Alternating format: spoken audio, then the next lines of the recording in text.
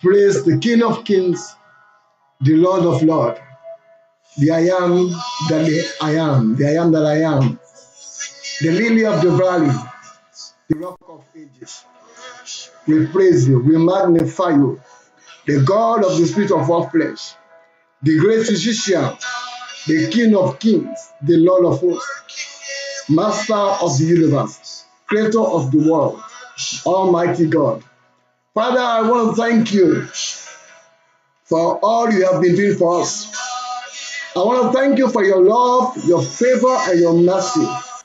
Lord, I thank you. I thank you so much for life. We thank you so much for grace. We thank you for saving our souls. We thank you for sanctifying us and preserving us blameless. We thank you so much for the baptism of the Holy Spirit, the gift of the Spirit and the fruit of the Spirit.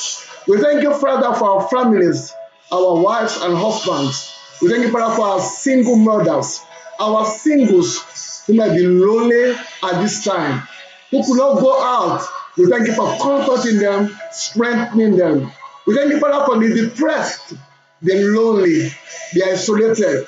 The Lord, you are the comforter, you are the strengthener, and at this time you are giving them strength.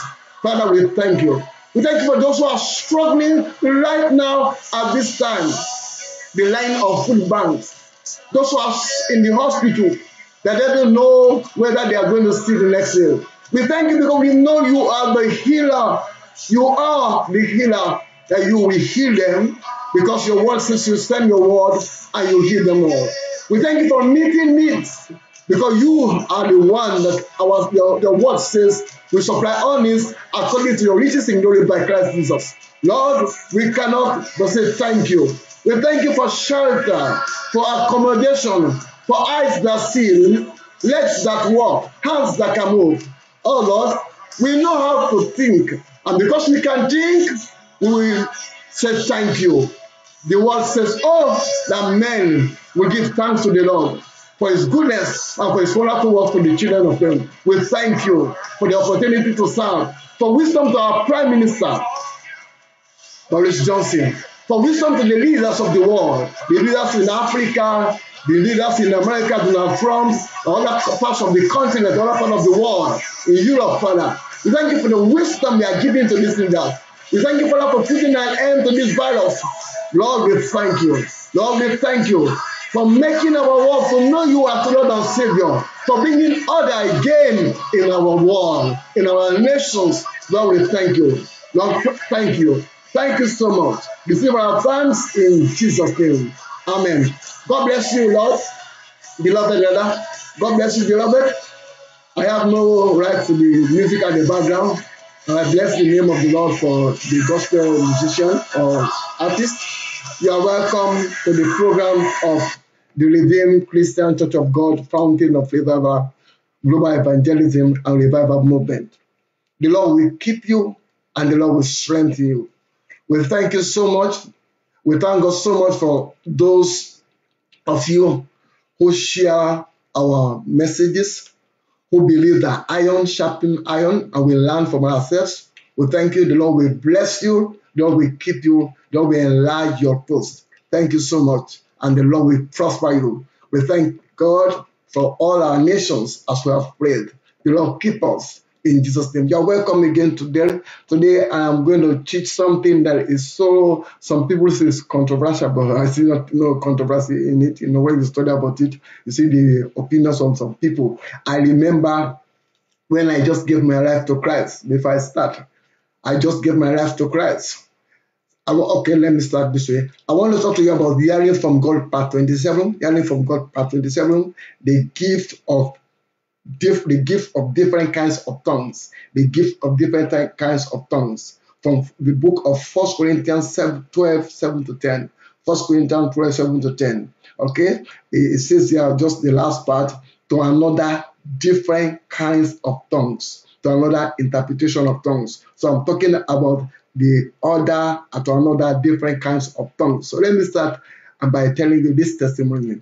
I remember I just gave my life to Christ on the 30th of October 2005, and I was in a service in the Redeemed Christian Church of God, the Fountain, that Pastor Thomas Aderomo was the pastor, is the pastor of the parish up to now. So he was is my first pastor. Okay, so I was in the church and they were praying. And as the prayer was going on, I saw them speaking something I did not understand. So I was standing there so much amazed about what was going on. So I asked, What is this all about? And they told me it's tongues, tongues that Christians speak. So I came home that day, very hungry, me too, to pray that way. So I said to God before I went to bed, I said, simply, if what I saw today is from you, me too, I like it. I want you to give it to me. 3 a.m. the following morning, I woke up. I was speaking in the Holy in the language of the Holy Spirit in tongues. I was praying, speaking clearly in tongues. Now, why am I saying this? Years after, or two, three years after, I met somebody that believe he knows theology, he knows about Christianity and the rest, and he said to me, speaking in tongues have ceased. Now, if I did not have an encounter, I would just have bought into his wrong doctrine. And I said, no. I told him how I got to speak in tongues. Okay, so listen to what we are discussing. It will bless you. And if you are blessed, only if you are blessed, share this message. If you are not blessed, just ignore us. Okay, but if you know you are blessed by what you are doing, share the message to bless others. God bless us. God bless you. Let's go. So it's taken from uh, 1 Corinthians 12, 7 to 10. I've read that. The gift of different kinds of tongues. Number one. Number one. You know, I, I try to break this thing down. Number one. Jesus made a promise to all believers according to the Gospel of St. Mark 16, 15 to 17. 16, 15 to 17. I will read it to you. It's a, it's a Bible study, so are, this is teaching, stop preaching. And he said to them, Go into all the world and preach the gospel to every creature. He who believes is baptized will be saved. He who believes and is baptized will be saved. But he who does not believe will be condemned. And these, these signs will follow those who believe, those who believe. Believe there means, if you're not a Christian, those who will confess Jesus Christ as Lord and Savior. In my name, they will cast out demons they will speak with new tongues. So the testimony I gave confirmed this. Because I believe, I've become a Christian now, so God gave me the ability to speak with new tongues. And I'm going somewhere that I want you to pay attention. It said, In my name, they will, some versions say, cast demons. They will, or some versions say, shall cast demons. Okay, in my name, they will or shall cast out demons or devils. Now, we use, let's do some English language, just a bit. I'm not an English student, just a bit. Just a bit. We use will and shall to make prediction and state facts about the future. For instance, or for example, you will say based on the weather forecast, it will rain tomorrow. It will rain tomorrow. Okay, that's a prediction also a statement based on the weather focus, uh, forecast, it will rain tomorrow. That's will. Now, will and shall, when used in a short form, they are used to announce decisions and to make offers. You say, Are you going to do this? Say, I will. I will. A decision. Then you say, I shall see you again tomorrow. So you can see the way will and shall are used. I'm, I'm saying this because when you understand this key, you know what I'm talking about later. Ah. Now, Jesus says, they will, they shall. Okay? If you believe. Jesus made a prediction. He made a decision, an offer to every believer. I'll say it again, that's number two now. Jesus made a prediction, expecting every believer to speak in tongues. He made a decision. He made a, an offer to every believer. So, therefore, every believer has the opportunity, everyone that becomes a genuine and sincere, born again, spirit filled believer has the opportunity to speak in the language of the Holy Spirit, to speak in tongues. Now, the question now is do all speak in tongues? Or do all have the ability to speak in tongues? 1 Corinthians 12 30. 1 Corinthians 12 30. Do all speak in tongues? Take note of the words all. Do all. All means everyone. Every believer speak in tongues? No. Why? Because some of us who claim to be believers or followers of Christ, our head knowledge and faithlessness is standing on our way. I'll say it again. Do all speak in tongues? No. Because some of us, our head knowledge, our mental understanding, the natural head, mind, and our faithlessness is standing on our way. Now, the Bible says in Romans 3 3 to 4, Romans 3 3 to 4, our faithlessness does not invalidate God's faithfulness or his promises. I'll say it again. Our faithlessness or unfaithfulness does not invalidate God's faithfulness to his promises. Everything God says, 100% he means it. And if you key into it, you will find you doing what he says. Now, let's go. All can speak in tongues if all have faith to ask and receive.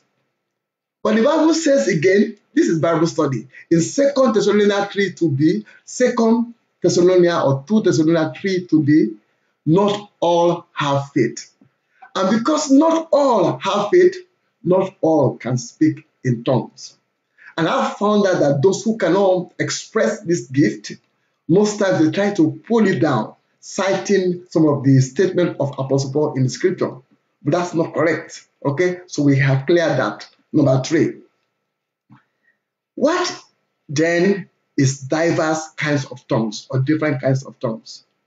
Tongue is the supernatural ability to speak in an unknown language. In an unknown language. Okay? Mark 16, 17, I gave you where Jesus said we will speak in new tongues. It's also in Acts chapter 2, 1 to 4, Acts chapter 2, 1 to 4, when the Holy Spirit that Jesus promised in Acts 1 8, Acts 1 8 came upon the disciple on the day of Pentecost. The Bible said they spoke in tongues in a new language. Okay? In Acts 9, I think I should 19, I should read this to you because it's a Bible study and we are now going to rush it. Acts chapter 19, Acts 19. And again, I say to you, I encourage you, if this blesses you, please share to bless others. And when Paul had laid his hands upon them, the Holy Ghost came on them, and they spoke with tongues and prophesied. That's part there in NKJV. They spoke with tongues and prophesied. You see? Now, number four, please note that demons fallen angels too, they speak in tongues. I'll say it again. Demons, fallen angels too, they speak in tongues. Okay? You find that in 1 Corinthians 31, 1 Corinthians 31, where I say to speak in tongues of angels. Angels can be both the godly angels and the fallen angels. Okay, so the, the fallen angels, like the devil is a fallen angel, demons are fallen angels. They also can speak in tongues. We call it demonic tongues. Okay, Satan is a fallen angel. So when you see some people, they speak in tongues, and you are amazed. Oh, but why is this life does not conform to the true Christian faith? Why but he or she can speak in tongues and can be blasting tongues. Why? Now, I normally say this to people. I just say it because you see, sometimes it's good for us to, like someone said to, to me today, uh, talking to a friend, I say, You try to preach the truth, and people of this days, they don't want to hear the truth. They want something that will entice them. I said, I said, uh, you, I have to preach what God has called me to preach. I don't have to go outside of what God has not called me to, to, to do. Okay, so just this is just to, I'm not condemning anybody. That's not my motive. I don't do that. Okay, but normally I say to people, I said, if tongues speaking in tongues, okay, you'll find out more, is from God, the Holy Spirit, the Holy Ghost. I will know that it's Holy Spirit, Holy Spirit, because it's holy. And the Bible says God is holy. And God does not behold sin. Okay? God is holy and God does not behold sin. Now, if a Christian, someone that says is a believer, is born again, that Christian habitually lies. Lying is, is a habit. Enjoys fornication, adultery, involved in all this occultism and whatever you name it. No condemnation intended. And you see this Christian, when they say prayer, he's praying, you know, he's even sweating, he's praying, he says he's praying the Holy Spirit. Do you really think that tongue is from the Holy God or is a tongue of demon? I leave that judgment to you. I ask you again, do you really think that tongue the person is speaking is from the Holy God or is from the tongue of the devil? I've just mentioned as well. I leave you to judge. Now let's go deeper. Speaking our tongues, okay, we need to know two things as we go. Tongues as a prayer language. Prayer language is not in the Bible.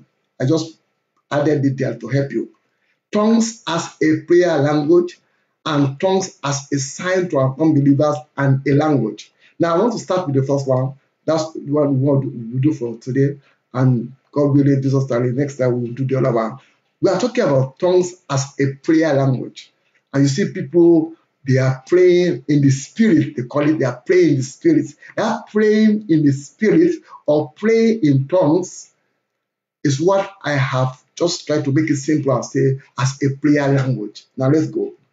God is spirit. John 4 24. It says, God is spirit, and anyone that comes to God must come to God in spirit and in truth. So God is spirit, no doubt. You and I, we are created by the Spirit of God. He breathed His Spirit upon us, then we, became a living being. Okay? Genesis 2 7. Genesis 2 7. Job 33 4. Job 33 4 says, The breath of the Almighty of the Spirit of God has made me, has given me life. Hence, I am a spirit. I have a body that you see and the soul that controls my emotion. That's the first thing. Please listen carefully. Number two, this is Bible inspiration. We are digging deep into the Bible based on the revelations of the Holy Spirit. If it blesses you and if you, learn something, share with others. Number two, when we become born again, or when we become children of God, according to John 1 12 to 13, John 1 12 to 13, and John 3 5 to 6, and John 3 5 to 6, we are born of the Spirit. He who of who is of the Spirit is of the Spirit. So you are now born of the Spirit. The Spirit of God that was dead in our lives through the sin of Adam and Eve in Genesis chapter 3 is now revived and becomes active. Okay? Pay attention to that. It becomes active. Number three. In any kingdom or nation, anyway, there are languages. Okay? There's a main, there are different languages, but there's a main language. For instance, I can't go to Her Majesty now and I want to speak to her and begin to speak French. Okay? Her Majesty the Queen. I will have to use, then you need an interpreter.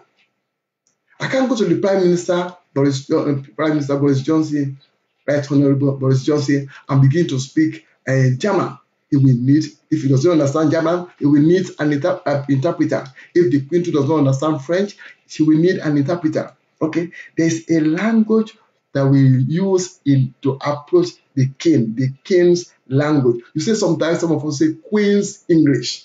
Okay, there's a language. God, you can communicate with God in any language. Don't get me wrong. So pay attention so you don't get me wrong. You can communicate with God in any language. But since God is spirit, since God is spirit, and our Bible says that the most effective way to relate with God is through the spirit, then you are encouraged, and you are encouraged to know that praying in the spirit on all occasions is one of the most effective way, effective way to communicate with God. So we call it our prayer language because it's the most effective way, hindrance free, no interpreter needed to communicate with the God who is spirit. Okay? So Ephesians chapter 6. Ephesians chapter 6. Ephesians 6. Ephesians chapter 6, verse 18 says something. It says, praying always, not sometimes, always, with all prayer and supplication in the spirit, and watching thereunto with all perseverance and supplication for the saints. So, if you are a born again believer, spirit believer, you must have a prayer language. You have uh, explain what I mean by prayer language. Praying at all times in the spirit. That is, every believer must have that ability based on my own research and studying, or seek or pray for that ability to be able to have that way of communicating to God through the Spirit. Why? Why? Why should you? Am I encouraging you to have that ability to seek for it, to pray for it, to have a prayer language, or to pray in the Spirit? Why? Because I said it earlier, praying in the Spirit gives us direct access to God. It gives us direct access to God, unhindered access to God. It's Bible study. We'll do continue with it, so we're not going to rush it. First Corinthians 14, verse 2. Listen, let me put it to NKJV. This is what it says. It says, verse 2 For he who speaks in tongues does not speak to men, but to God. What? To God. To God. For no one understand him. However, in the spirit he speaks mystery. So you have direct access to God. You don't pray amiss. You pray in line with God's perfect will. That's the first advantage. Ephesians 2 8. Ephesians 2 8. Ephesians 2 8. For by grace you have been saved. The Ephesians, I think Ephesians 2 18. 18 to 18. Let me see, 18. Yes, Ephesians 2 18. For through him we both have access by one spirit to the Father.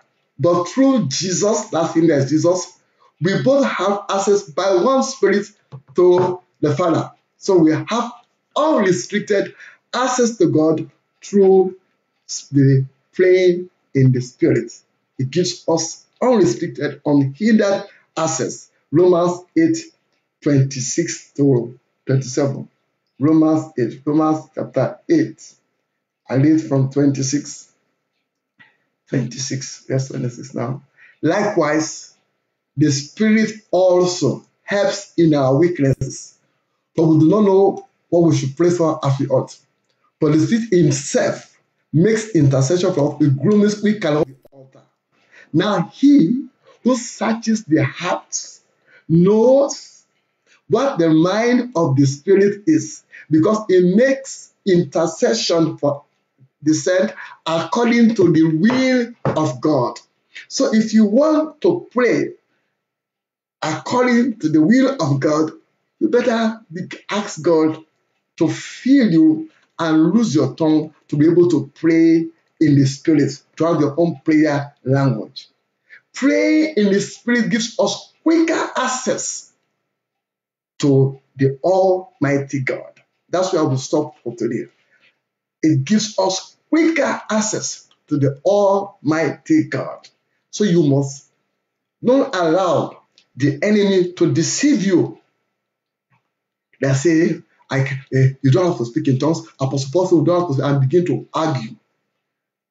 Argument don't make change anything. The truth cannot be changed. We can do nothing but for the truth against the truth. You cannot change your, your philosophy, your education, our degrees, about the, all the things we assume to we know, does not change the truth of God's word. Okay? Let me close with another testimony. I was going to travel for a conference outside the United Kingdom, you know, and I needed enough money to go for the conference. I needed first money to buy the ticket. I've gotten some money, but I, needed money to buy the ticket. I didn't have money to buy the ticket because if I buy the ticket, I needed money to pay for the hotel, and also because you cannot just you if you are a father, you cannot just go out of the country and you have children and you just clap, you clap your hands and, and come. The children will ask you, what did you break? Okay, so I needed money for the ticket. I needed money to summarize it anyway. I needed money. So I said, what do I do? I've had the testimony of uh, Father in the Lord, Pastor Iya Adibori. He said I was there play all night. And by the time he woke up, somebody came or sitting with what he needed. So I said that night I was going to pray because I was going to, I, I, I have the ticket already booked and I have to pay for it the next day. Otherwise, the, the, it will be cancelled and I'll have to pay a higher fee. Okay. So I have within 24 hours to resolve the ticket issue. So that night I said I'm going to pray. So I lie down to pray on the floor to pray. I started praying in the spirit. Remember, I said I was going to pray the whole night. Just because I want ticket. So why is it praying for a whole night for ticket? You got to, if you want, it's like I'm going for a conference and I desire to go for that conference. The Bible says, if you ask anything in his name, he will give it to you. Anything you want in this life, you must stand your ground to get it as a Christian. Okay? You must stand your ground to get it as a Christian. Anything. That's why. So I have prayed one hour in tongues. I fell asleep. By the time I woke up, it was time for the family prayer. At one hour, I just prayed one hour. I don't know how I even just fell asleep. So I fell asleep straight. And I woke up. It was, I was, ah, look at myself, find myself on the floor. I said, Neil, I said I was going to pray a whole night. In the afternoon, my house phone rang. And somebody said, Is that the young man that preaches on the street? This is some years back. That preaches on the street. I said, What can we do for you? He said, I've been led to bless you. That to cut this story short, within 24 hours, the money came. Within 24 hours, the ticket was paid for. Even the person that was that booked the ticket, I told the person the testimony to stare off the person's face how God does things and how praying in the spirit can be effective to get things quickly done. So I want to encourage you, if you have not been baptized with the, by the Holy Spirit, to seek for it, zealously seek for it. Okay, no, no, this function, function, speaking in tongues as as as a style, as a to, to bluff, or is that the language I will use? I don't know, but to show off, eh, that's not what I'm talking about. I'm talking of serious business here, serious business, okay, serious business. Seek for it.